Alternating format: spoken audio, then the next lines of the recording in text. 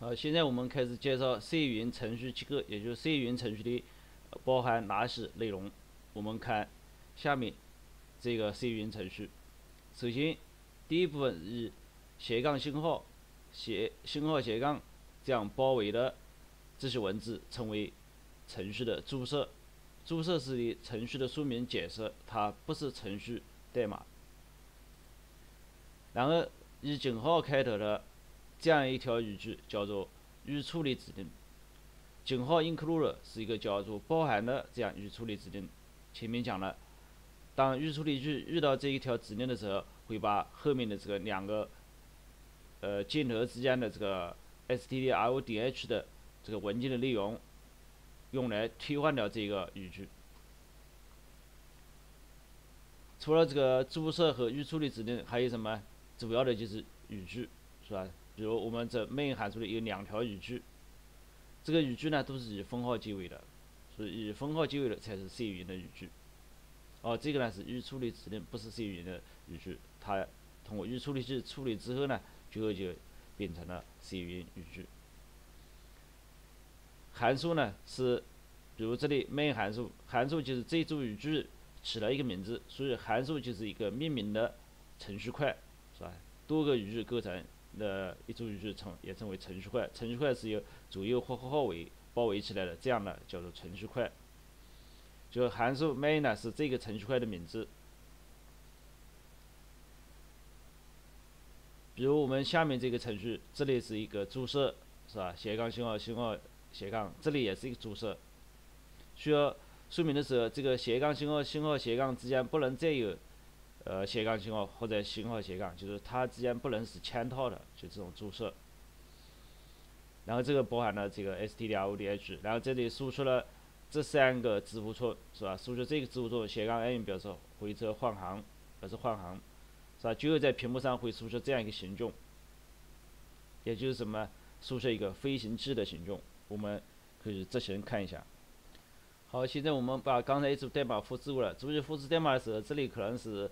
会复制成这个中文的封号，就是可能复制中文封号，你要把它改成英文的。这里我已经改完了，是吧？然后我们在这里按 Ctrl Shift 加 B 键，呃，这里说明出现了中文，就这里一定要把它改成英文，英文 Ctrl Shift B 键，好，然后就编好了。当你这里有些警告说返回列些默认应该是 Int 如果你想把这警号去掉，不去掉也无所谓，加上一个 int，然后呢？它这里，我们先加上这个不加返回就先这样执行一下。好，就是 int 呢，默认类型是 int，所以在这里加上 int 就没有这错误了。然后我们再按 Ctrl Shift B 选择下面 Run，就输出了这样一个形状。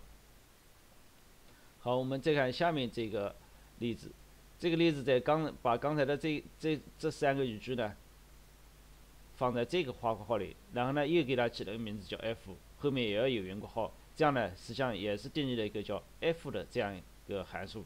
就在这里，我们又定了函数，除了 main 函数之外，又定了一个。然后我们说，C 语言的程序总是执行的是 main 函数，在 main 函数有一个 f 花括号，这样呢就是调用了刚才这个函数。这里属于函数的定义，这里呢属于调用，就是当 main 函数执行这个的时候，会跳到这个 f 函数里去执行相应的语句。好，我们再看一下这段代码。也就是现在什么呢？我们把这三个语句放到另外一个叫 f 这个函数里面去。那么这样我们就定了一个名字叫 f 的函数，也就这个 f 呢就是这个程序块的名字。然后呢，我们可以通过这个名字 f 去调用这个函数，因为这个函数不需要传参数，所以这个花括里也没有传数据。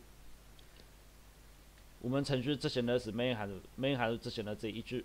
好，下面我们把它 Ctrl S 保存，Ctrl Shift B，B，它这里又有警告说默认也是 int 是吧？如果这里我们就不管了嘛。好，就执行的输出仍然是这样的，是吧？如果你想让它没有错误，把它改成 void，表示 void 我们就会讲了，表示不返回任何数据。啊，这里就没有编译警告了，是吧？结果是一样的。好，这就是在 main 函数里调用了 f 函数，是吧？程序执行的总是 main 函数。下面我们再看另外一个预处理职能，叫做条件编译职能，就是 if 井号 if 这个条件和井号 end if 这两个构成一个条件，然后中间呢也可以穿插呃呃这是其他的。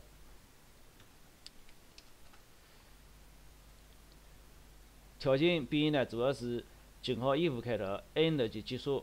以 end if 结束，我们看最简单的，井号 if 后面是一个零，然后呢后面是 end if，这个是什么呢？就 if 就如果的意思，这个呢是结束，这个是开了这个就就如果这个是零，那么预处理器呢在处理它的时候就把这一段直接就忽略掉了，就删除掉了，就这里就不会作为程序语句。如果它是一，那么也就是零相当于假，一是真，那么就会。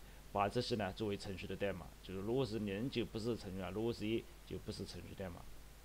下面我们看一下我们刚才这个程序里，我们刚才在程序里刚才在这里，我们比如这个程序我们可以前面加一个 if 零 end if，这样呢表示就把这个程序呢就是预处理器遇到这个 if 零的说明，它就知道这里不是程序代码，那么就忽略掉了。然后呢，我们在这里有一个 if 零 end if，把这个零改成一，也就是这个时候这是程序代码，也就是我们现在的程序这一这一部分，我们看一下。好，这个你要没有错误，把它加个 int。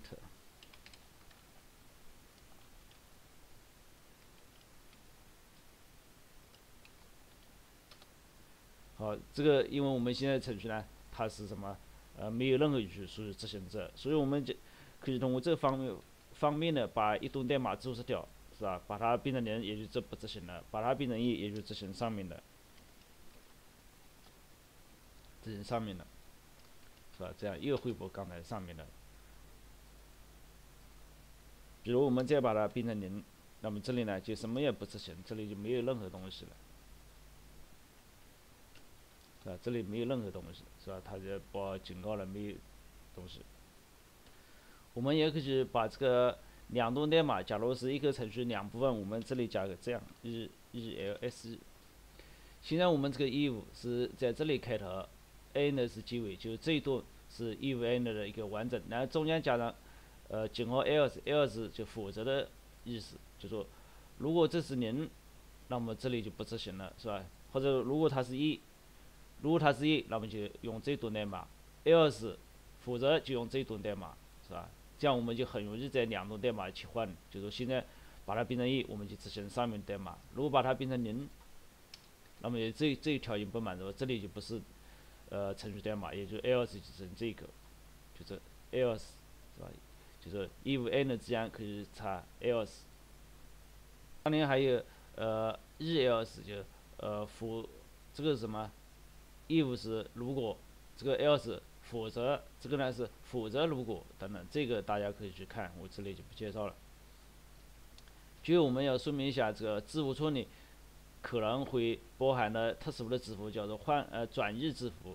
前面我们学了，就是斜杠 n 它不是表示两个字符，而是表示一个字符，叫做转移字符。这个表示的转移字符叫换行符，就是 print 遇到这两个。字符是把它当成一个字符换行符对待的，还有斜杠 t，它是表示字符字表符，水平字表符，斜杠 v 是垂直字表符，然后斜杠单引号它用来表示单个这个单引号这个字符，两个斜杠表示一个斜杠字符本身，就是斜杠字符本身怎么表示啊？用两个斜杠，同样斜杠问号表示什么呢？表示问号这一个字符，斜杠 i 呢表示一个响铃的字符，我们当程序的 printf 里面有斜杠 i 的时候，它就会响铃。好，我们看一下这个程序代码。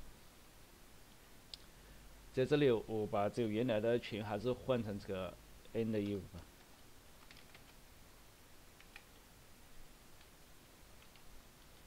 井号 end，就还是分成两个单独的部分，把它都注销了。现在我们看这个，在这里一段，我把它变成一 if 一，这里执行的。我们看一下，第一句是 Hello World，中间没有这个 Hello World 这样子没有空格，然后这里加上一个换行，那么在这输出 hello，然后换行再输出这个。这个斜杠 T 呢，普林遇到它会执行什么？空几个，我们先运行一下吧，Ctrl S，Ctrl Shift B，编译。它这一个警告了，就斜杠 H 它不是转移字符，是吧？就这些是转，但是这个斜杠 H 不是转移字符，它实际上被当成两个字符，这里它就觉得有一点问题。好，这里我们不管。然后运行呢，我们对照这个程序代码，第一个 Hello World 是没有空格，第二个是 Hello，然后换一行，然后输出 World 再换一行，然后在这第三个就是空几个 Hello 这样空几个，第四个垂直字符它产生的这样一个动作，输出了这个符号。然后斜杠双引号，它输出的是双引号，就是我们这个字符中是用双引号包围的，但这个双引号包围如果在一个字符中没有斜杠，那就出问题了，是吧？所以我们在这个双引号包围的字符要表示双引号这个字符，就要斜杠这个双引号。同样这里是单引号，是吧？这里是两个斜杠，实际上表示斜杠一个字符，然后这个斜杠问号表示问号一个字符。然后斜杠 H 这不是转移字符，实际上它有两个，一个斜杠 H，是吧？斜杠它在这里就没有输出输出了 H，是吧？我们把它这个让它输出斜杠，啊，再重新保存运行。